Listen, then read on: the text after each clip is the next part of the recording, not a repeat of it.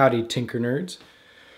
This is my comment show for how to how to how to make a CC.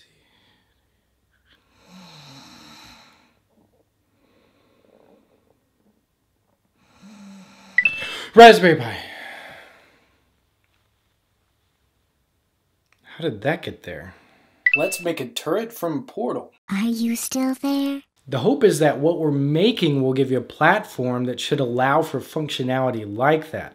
Kind of just depends on how far you want to take it though. Speaking of Portal, you guys should totally check out this Portal putt-putt hole. Now that's something I would like to make. Can you make a tutorial that does not involve an Arduino or a Raspberry Pi?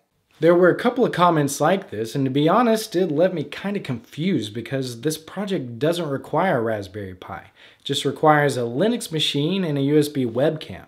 Basically, it's really just a Python tutorial, and Python can run on Windows, Mac, and Linux. So does this comment mean that you don't want any more programming tutorials, or you just don't like Raspberry Pis? All right, take this, put it here. Go here, download this. Go here and download this. Use this to copy this to this, and when it's done, remove this from this and put it in this. Wait, what? Since I've covered those instructions so many times before, I thought I'd just generalize them. But I think I generalized them too much, to the point where you could almost use them to explain how to make almost anything. Take this, put it here. Go here, download this. Then go here and download this. Use this to copy this to this, and when it's done, remove this from this and put it in this. Instructioning when? Too fast? Check the project page. Nah, I would just set the playback speed to 0.5. You know that's not a bad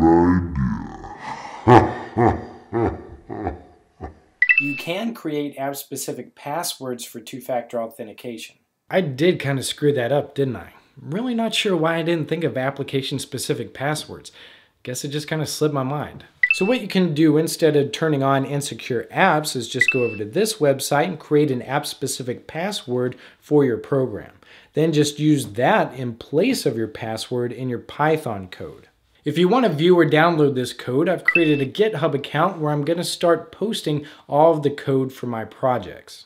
Wouldn't it be unsafe to store your password in plain text? Yes, that's true too. So what you can do instead is use your operating system's password manager to securely store your passwords and then use Python to recall them. In Linux or on the Raspberry Pi, you'll have to install a password manager called Keyring and then you can store and insert your passwords in there. Then you can use Python to insert and retrieve passwords from the Keyring program. So this is how that Python code would look. Do you even Pi? Yes, as a matter of fact, I pied all over the back seat of a car last week. I heard that the Raspberry Pi 3 will come out tomorrow. oh my goodness, oh my goodness, oh my goodness, oh my goodness. I just got one and it's going to be here next week. I am so ashamed of myself. Just to let you all know, next week's tutorial is going to be another coding tutorial, but I'm going to be doing it a little bit differently. I found from this week's tutorial that a lot of you guys find the coding tutorials very boring.